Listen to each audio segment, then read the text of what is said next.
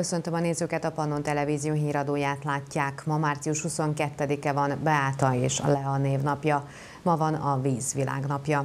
240 éve Mária Terézia eltörölte a kínballatást. 184 éve hunyt el Goethe, német költő, író. Most pedig következzenek a nap legfontosabb hírei, először csak röviden. Robbantások, pánik, káosz és halottak. Terrortámadás történt Brüsszelben. Fokozott biztonsági intézkedéseket vezettek be több európai országban is.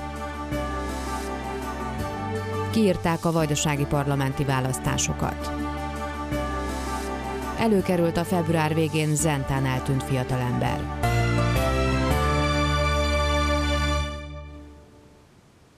Legalább 34 halálos áldozata van a keddi brüsszeli terrortámadásnak, egyes sajtóértesülések szerint. Először a repülőtéren robbant két bomba, majd egy metróállomáson a belga főváros központjában. A mentést végző hatóságok szerint több mint 200-an sebesültek meg. A belga szövetségi ügyészség terrortámadásnak minősítette a robbantásokat, és a legmagasabb szintre emelte a készültséget. Háromnapos nemzeti gyászt hirdettek Belgiumban. A brüsszeli robbantásokat az iszlám állam vállalta magára. Reggel 8 óra körül két robbanás rázta meg a brüsszeli Záventem nemzetközi reptér indulási oldalát, az egyik amerikai légitársaság irodája közelében. Több szemtanú szerint lövések is eldördültek és arab kiáltások hallatszottak. Az amatőr felvételeken látszódik, hogy a pánikba esett emberek fejvesztve menekültek. A hatóságok megerősítették, hogy öngyilkos merénylet történt. Kiürítették és lezárták az évi 23 milliós forgalmú légikikötő épületét. Az érkező járatokat más repterekre terelték át. Mindenkit evakuáltak. Számos rendőrt és mentőt vezényeltek a helyszínre. A füstölgő helyenként rommázózott reptéren egy harmadik, fel nem robbant pokolgépet is találtak. A brüsszeli metróban is robbantottak az Európai Bizottság és az Európai Tanács székházának közelében. Szemtanúk szerint többen véresen a síneken futva menekültek a metró megállóból. A lejáratnál sokáig fekete füst gomolygott. Brüsszelben leállították a teljes tömegközlekedési hálózatot, lezárták a királyi palota környékét, a központi pályaudvart pedig kiürítették. Klenovics Gábor az Európai Parlament képviselői asszisztense a brüsszeli közhangulatról számolt be. Amit látni lehet, üresek az utcák, sem autó, sem gyalogosok nincsenek. A parlament elnökétől fél órával ezelőtt kaptunk egy e-mailt, hogy megszigorították a, a parlamenten belüli óvintézkedéseket is, aki teheti maradjon bent, vagy hát mindenkit felszólítanak, hogy maradjon bent az irodában, amíg lehet. Aki meg otthon van, maradjon otthon. Holnapra teleworkinget rendeltek el, parlament zárva lesz. Nem jár a metró, nem működik gyakorlatilag tömegközlekedés teljesen leállt. Nem csupán a közlekedés omlott össze Belgiumban, hanem a mobilhálózat is. Nem lehet telefonálni. Az országban elrendelték a legmagasabb, negyedik szintű terrorkészültséget. Margaritis Sinász az Európai Bizottság szóvivője őszinte részvétét fejezte ki az áldozatok hozzátartozóinak. The Commission has decided, in agreement with the Belgian authorities and the other institutions, to raise the security level from yellow to orange. The European Union and the EU institutions must and will remain resolute. Here, in the European Union's capital, we stand together, united against terror, in full solidarity with the people of Brussels. Charles Michel belga kormányfő úgy fogalmazott, megtörtént, amitől legjobban tartottak. A vezetőség 225 katonával erősítette meg Brüsszel védelmét, az utcákon és a nukleáris létesítményeknél is őrködnek. A brüsszeli robbantásokat az iszlám állam vállalta magára, írta az egyiptomi sajtó. A dzsihadista szervezet hívei a közösségi hálókon ünnepelték tettüket. A brüsszeli robbantásban két szerbiai állampolgár is megsérült. Az RTS értesülései szerint az érintettek a Jumbo Travel utazási irodán keresztül vették meg a jegyüket. Ők a detonáció pillanatában a repülőtér folyosóján tartózkodtak. Az említett utazási iroda igazgatója a szerb közmédiának elmondta, a sérülteket a brüsszeli kórházban látják el, nincsenek közvetlen életveszélyben. A két szerbiai utast várhatóan holnap szállítják Belgrádba. A brüsszeli támadásokat követően Alexander Vucic elmondta, biztos benne, hogy Európa és a világ a legjobb választ adja majd a terrorcselekményekre. A szerb miniszterelnök erről a Gunther Krichbaum, a német Bundestag Európai ügyekben illetékes bizottságának elnökével való mai belgrádi találkozója után beszélt. Hozzátette, a következő napokban ülést tart a biztonsági szolgálatokért felelős iroda. Vucic szerint Szerbiában jelenleg nincs ok terrortámadástól félni. Niko od nas ne sme da i ne sme da učini ono što bi teroristi najviše voleli, a to je da paničimo i to je da unosimo nered u svoje društvo, da menjamo način života, jer čini nam se i gospodinu Krigbaumu i meni da je to upravo ono što teroristi danas žele da postignu. A brüsszeli robbantások nyomán Orbán Viktor magyar kormányfő ideiglenesen elrendelte a terrorkészültség kettes fokozatát. Ennek megfelelően a repülőtéren járőrök jelennek meg, illetve páncélozott gépjárművek felügyelik a légi kikötőt. Fokozottan felügyelik a metróállomásokat, valamint a budapesti Kossuth teret és környékét, ahol a terror elhárítási központ munkatársai is szolgálatot teljesítenek. Kettő magyar sérültről tudunk, de miután a reptérről ebben a pillanatban semmilyen információt, megbízható információt kapni nem lehet a hírzárlat miatt, ezért az eddig szónak van jelentősége. Reménykedünk abban, hogy több magyar érintett nincs. A kettőből az egyikről tudjuk, hogy nem súlyosak a sérülései, de kórházba került. Fontosnak tartom elmondani, hogy a terror minden formáját eh, vissza kell utasítani és küzdeni kellene. Fel kell lépni a terroristákkal szemben, és a tanulsága ennek a, az ügynek az az, hogy az európai együttműködést a belbiztonsági szervek között eh, erősítenünk kell. Fokozott biztonsági intézkedéseket vezettek be a brüsszeli terrortámadásokat követően Európa több országában is. Egyebek mellett Nagy-Britanniában, Hollandiában, Németországban, Ausztriában, Spanyolországban és Romániában is terrorvédelmi készültség van. Óriási a rendőri készültség Nagy-Britanniában a brüsszeli terrortámadás után. Országszerte fokozták a rendőri járőrzést a reptereken, a London és Brüsszel között közlekedő vonat pedig határozatlan ideig nem szállítja az utasokat. A rendőri jelenlét megerősítése óvintézkedés, amely a lakosság megnyugtatására szolgál, és nem kapcsolódik semmilyen konkrét elhárítási vagy hírszerzési értesüléshez, közölték az illetékesek. A támadás sorozat után Hollandiában is fokozott ellenőrzések léptek életbe. Mark Rutte holland miniszterelnök kijelentette, megerősítették a repterek és a vasútállomások védelmét.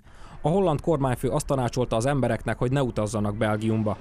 Németországban évek óta nagy a terrorveszély, de a hatóságok szerint elméleti fenyegetettségről van szó. Vagyis bármikor történhet terrortámadás, de nincs konkrét merénylet elkészítésére utaló adat. Ausztriában is megerősítették az általános biztonsági intézkedéseket. A repülőtereken és a tömegközlekedési eszközökön fokozták a rendőri jelenlétet. Spanyolországban a jelenleg érvényes terrorvédelmi szintnél bár csak egy magasabb fokozat van. A spanyol kormány tavaly júniusban emelt utoljára védelmi fokozaton, amikor Tunéziában, Franciaországban és Kuwaitban ugyanazon a napon követtek el támadásokat. Romániában is szigorítások léptek életbe. A csendőrség megerősítette a repülőterek és a nagykövetségek védelmét. A hírszerzés egyelőre az öt fokozatú skála második, elővigyázatos szintjén tartja a terrorveszély miatti riasztást. Két migráns próbálta felgyújtani magát az Idomeni közelében található táborban a görög-macedón határon. Nem szenvedtek komoly sérüléseket, mivel a határ megnyitását követő, követelő többi menekült gyorsan eloltotta a lángokat. Idomeniben blokkád alá vették a vasutat az Európai Unióba igyekvők. Kedreggel ott telepettek le, ahol a táborba vezető autóút is keresztezi a vasútvonalat. Így nem csak a teherszállítás szünetel, de a táborba sem tudnak bejutni a teher tehergépjárművek. Már az 50 ezret is meghaladja a Görögországban tartózkodó migránsok száma. A hatóságok szerint több mint tízezren továbbra is a görög-macedón határ görög oldalán az idomeni táborban torlódnak. Többségük már egy hónapja várja, hogy tovább haladhasson a balkáni útvonalon, amely már több mint két hete zárva van.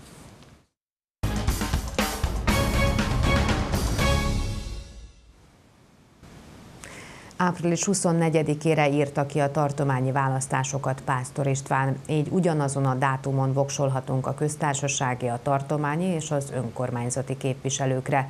A vajdasági házelnök arra kérte a választópolgárokat, hogy április 24-én éljenek a szavazati jogukkal és adják le voksukat. Új részarányos rendszer szerint tartják meg a tartományi szavazásokat áprilisban. Pásztor István a tartományi házelnök elmondta, elégedett a Vajdasági Parlament elmúlt négy évi munkájával, ami egy közös erőfeszítés eredménye. Mind a 120 képviselőnek, illetve a frakcióvezetőknek és az alelnöknek is szerepük volt a politikai rendszer stabilitásának megőrzésében, emelte ki. Én egy eh, nyugodt kampányt szeretnék látni, ahol a politikai pártok és politikai opciók az elképzeléseikkel kapcsolatban fejtik ki álláspontjaikat és versengenek a szavazó polgárok bizalmáért. Azt gondolom, hogy nem ez fog lenni, vagy csak részben fog ez lenni. Kiegyensúlyozott és békés választási kampányokat szeretne látni az elkövetkezendő hetekben, de nyilván számolni kell majd a személyeskedésekkel és a sárdobálással is, fogalmazott Pásztor István.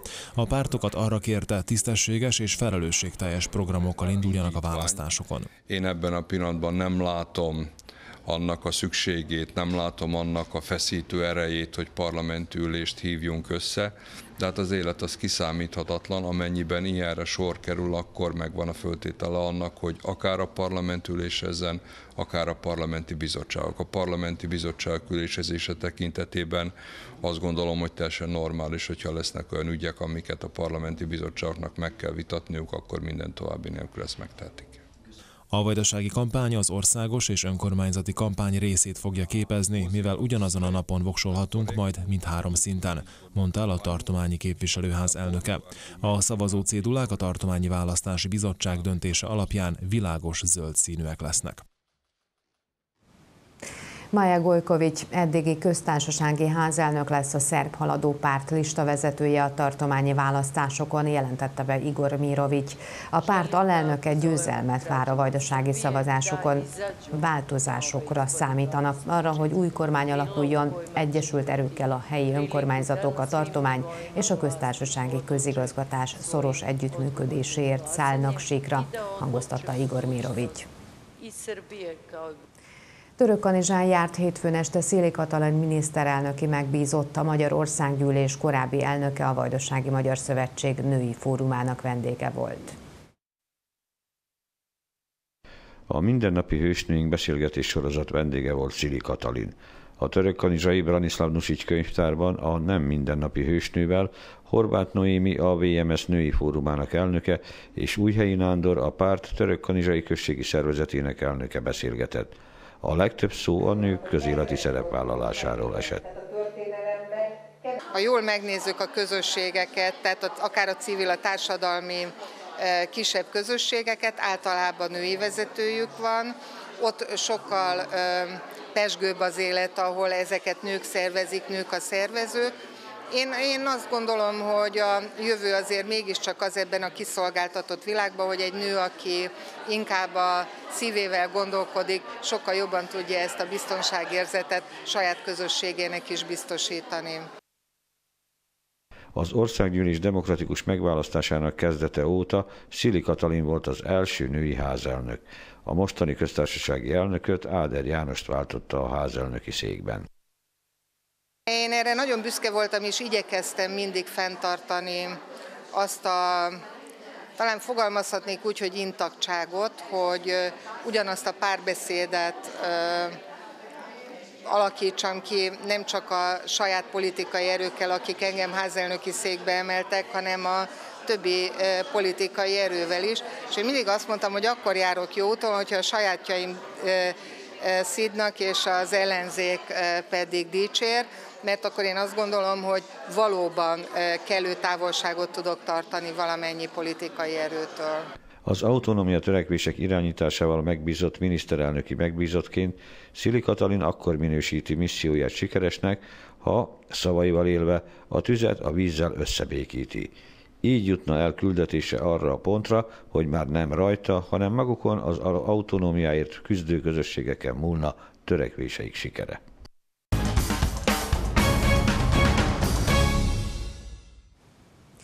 Üdvözölte az eddigi amerikai kereskedelmi és utazási könnyítéseket, de további hasonló lépéseket sürgetett Washington részéről Raúl Castro.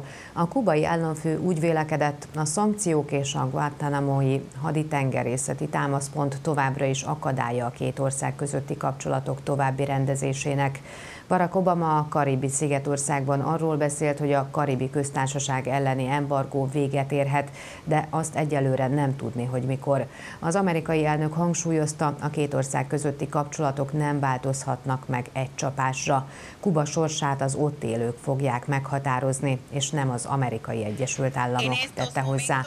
Obama kiemelte, őszinte és nyílt tárgyalásokat folytattak kollégájával az emberi jogokról, ugyanakkor egyértelművé tette, hogy Washington továbbra is az emberi jogok és a demokrácia mellett kíván kiállni Kubában. Most nézzük, mi lesz a híradó folytatásában. Önkéntes véradás szervez a Vöröskereszt a Szabadkai MTTK-n. Megnyílt a húsvéti kiállítás és vásár Topolyán. Előtte azonban kapcsoljuk Bakos Viktort. Szervusz Viktor, milyen témákkal foglalkoztok ma a közügyekben? Szerbusz Gertrud, köszöntöm a híradó nézőit. A mai közügyekben részletesen beszámolunk a mai brüsszeli terrorcselekményekről és annak következményeiről. Foglalkozunk azzal, hogy ma írták ki a tartományi választásokat, vendégeink lesznek a Magyar Kanizsai Fiatal Vállalkozókat Segítő Program vezetői, és egy faluriportot is láthatnak a Délbánáti űrményházáról. Ez lesz ma a közügyek, várom Önöket a híradó után. Gertrud, tél a szó. Akkor érdemes lesz velünk maradni a híradó után, és köszönjük, Viktor. 60 éves az újvidéki Petőfi Sándor általános iskola. Az eredmények és a modern oktatási módszerek alkalmazása miatt ez az intézmény példaértékűnek számít. Az elmúlt 60 évben az iskola nagy változásokon esett át. Öt alkalommal bővült az épület. A korszerű oktatás meghozta a várt eredményt. A Petőfi Sándor ugyanis 2013-ban felkerült az Oktatási Minisztérium 50 legjobb iskoláját soroló listára. Csupán három általános iskola van Újvidékről ezen a listán, e, és e, tulajdonképpen törekszünk arra, hogy e, állandóan a minőség legyen az, ami vezényel bennünket előre. A korszerű felszerelés beszerzését, az új oktatási módszerek alkalmazását támogatások nélkül nem lehetne megvalósítani. A tartományi oktatási titkárság mintegy másfél millió dinárral segítette 2015-ben az iskolát. A bilingvális oktatásban, tehát ami a szerb-angol, vagy akár a magyar-angol bilingvális oktatást illeti, is az élenjáró, szinte zászlóhajós a Petőfi Sándor általános iskolai túlvidéken, és az elmúlt években, mióta ez a projektum támogatott a tartomány részéről, a hordozója, az első számú hordozója épp ez az iskola volt. Ez is folytatódik mindenképp, és a támogatásainkat élvezni fogja az iskola. Az iskolában hat éve alkalmaznak kétnyelvű oktatást. Ezekben a tagozatokban egyes tantárgyakat angol nyelven hallgatják a diákok. Az iskolának mintegy 1500 tanulója van, a magyar tannyelvű osztályokba 68 tanuló jár. Az elmúlt másfél évben 70-en kapták készhez diplomájukat a Szabadkai Magyar Tannyelvű Tanítóképzőkaron, 31 hallgatómester, még 39 alapszakon, azaz tanító és óvodapedagógus szakon kapott oklevelet, nyilatkozta a Pannon RTV-nek Lepes Josip.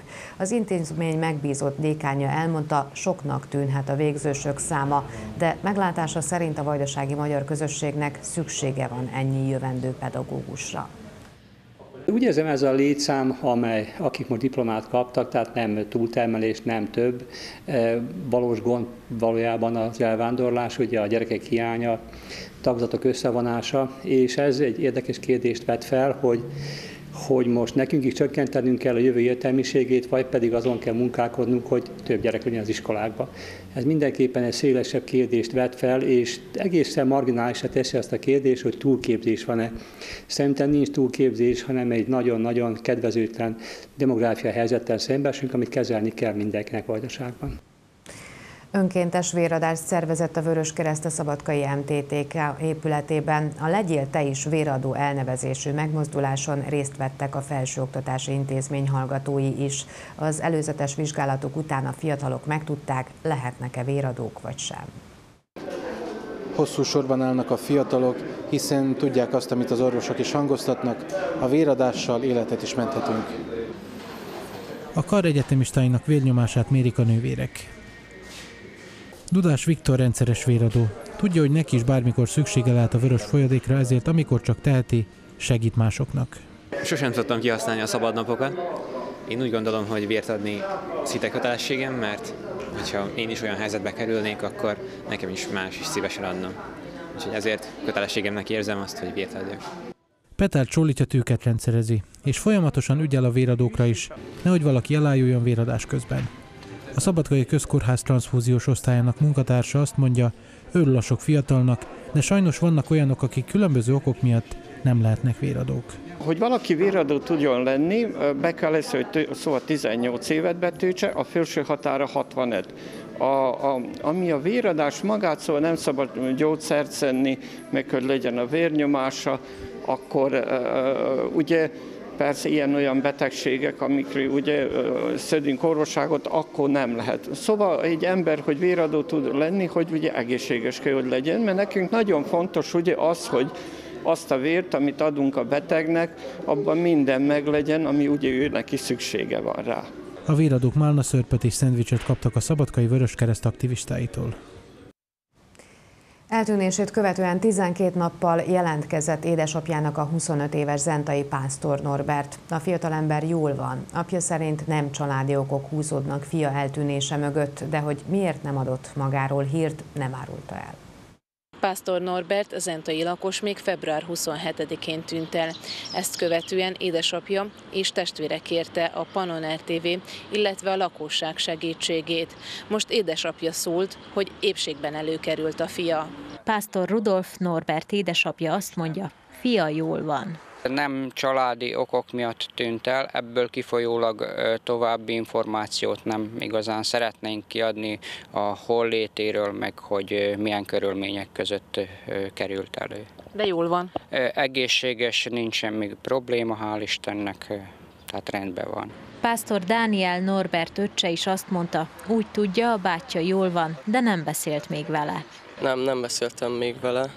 Annyit tudok róla, hogy jól van, nincs semmi baja, és hogy jelentkezett a rendőrségen. Nem hivatalos információk szerint Pásztor Norbertre a rendőrség talált rá, ugyanis édesapja jelentette az eltűnését, viszont eltűnése okáról, illetve arról, hogy folyik-e az ügyben további nyomozás, nem adott tájékoztatást.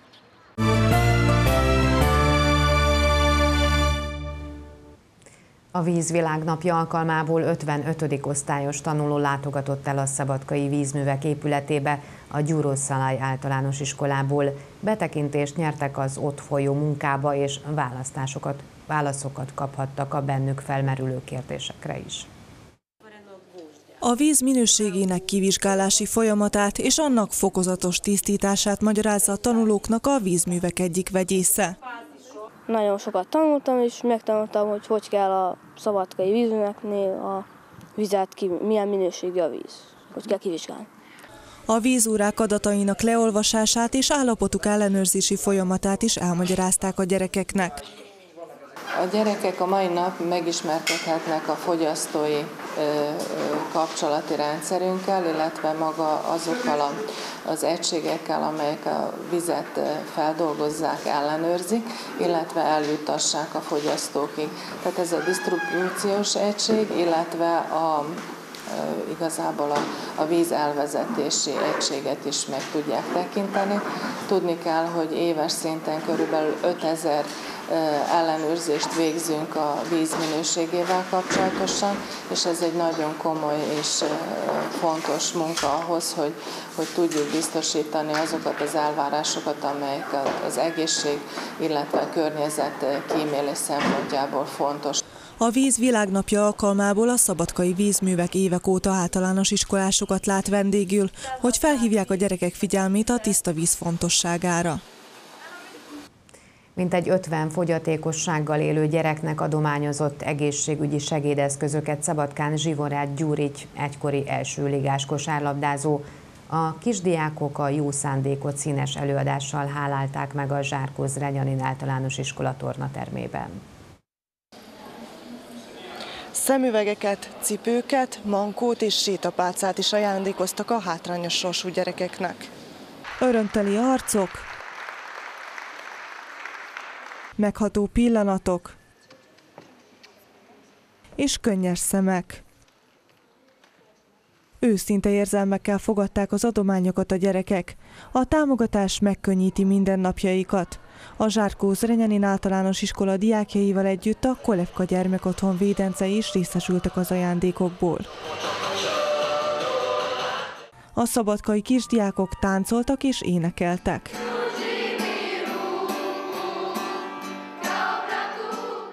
Zsivorát Gyurigy évek óta gyűjt gyerekek számára.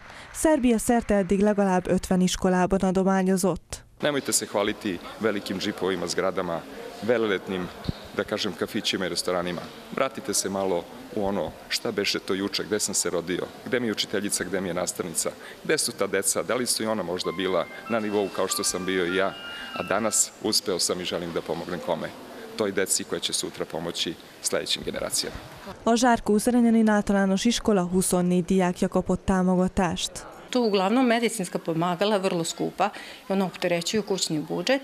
Pored toga zaista prave korekciju, prevenciju i korekciju tih deformiteta kojih ima u velikoj meri kod ove naše dece.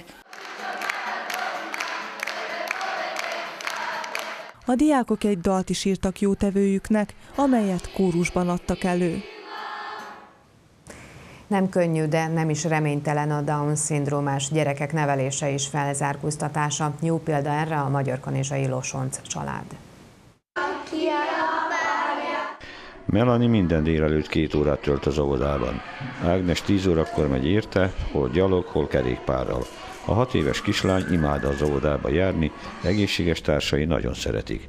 Losonc Ágnes és Rezső Down-szindrómával született fiúk, Tibi, majd két egészséges lányuk után hat évvel ezelőtt felvállalták a Down-szindrómás kislány nevelését is. Annyi szeretetet és annyi, annyi mindent tud megtanulni egy ilyen gyerektől. Egész másképp kezdje el látni a világot. Meglátja az apró örömöket, azokat a sikereket, amit apró lépésekbe elérnek ezek a gyerekek. Melanie egy vidám és összetartó családba került, aminek köszönhetően szépen fejlődik, és nem csak a család, hanem környezete kedvence is.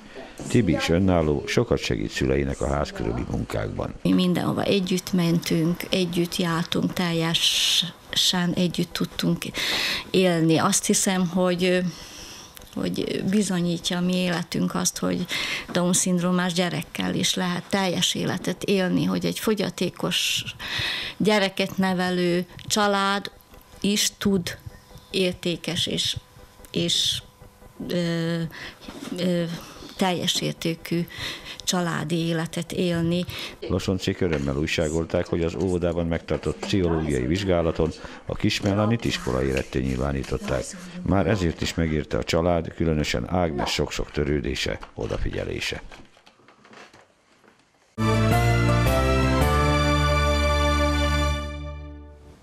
Megnyílt a húsvéti kiállítás és vásár Topolyán a mozi előcsarnokában. A művelődési ház szervezésében március 24-éig várják az érdeklődőket. Kirakodóvásárral, kézműves foglalkozásokkal és rajzpályázattal készülnek Topolyán a húsvétra.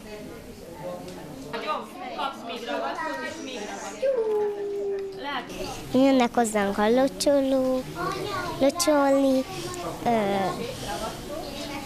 csinálunk kímostojásokat. Húsvéti figurák és díszek kavalkádja. A kiállító különböző foglalkozásokat is tartanak a gyerekeknek. Van egy 8 éves kislányom, és ő is készítette, tehát ez egy ilyen családi vállalkozásban dolgozunk, és gyöngyékszereket és gyöngyös tojásokat készítettünk, azt hoztuk, és a, ez, a, ezen, ez a rendezvényen belül pedig gyöngyből nyuszit fogunk készíteni a gyerekekkel. A helyi kézművesek is bemutatkoznak a húsvéti vásáron. húsvéti vásárra leginkább a tojások, ami a húsvétnak az egyik legjellemzője, azon kívül horgolt dolgok. Én különösen a horgolt dolgokat készítem, az állatoktól kezdve a Barbie ruha, horgolt dobozok, azok a legújabb szerzeményeim, és a horgolt tojások. A húsvéti sokadalom előtt rajzpályázatot hirdettek óvodás és kisiskolás gyermekek számára. A beérkezett munkákból kiállítást tartanak. Összesen 115 pálya munka érkezett be. Ezeket a záró rendezvényünkön csütörtökön majd díjazzuk, egyrészt a zsűri értékelése alapján, másrészt pedig a közönségnek is lehetőséget adunk véleménynyilvánításra, úgyhogy továbbra is a szavazólapokkal várjuk itt a minden kedves érdeklődőt a mozi előcsarnokában. A topolyai húsvéti kiállítás és vásár március 24-ig várja az érdeklődőket.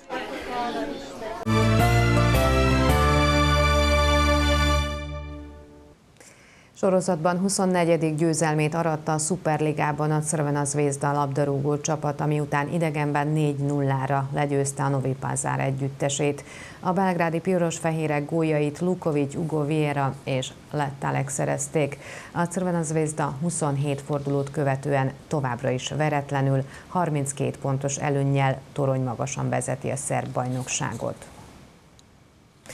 Eddig tartott a híradó, a legfontosabb hírek jönnek még egyszer röviden. Robbantások, pánik, káosz és halottak. Terrortámadás történt Brüsszelben. Fokozott biztonsági intézkedéseket vezettek be több európai országban is. Kiírták a vajdasági parlamenti választásokat. Előkerült a február végén Zentán eltűnt fiatalember. Köszönjük figyelmüket, híreinket, bejátszásainkat megtalálják a pannonrtv.com oldalon. További szép estét kívánunk viszontlátásra!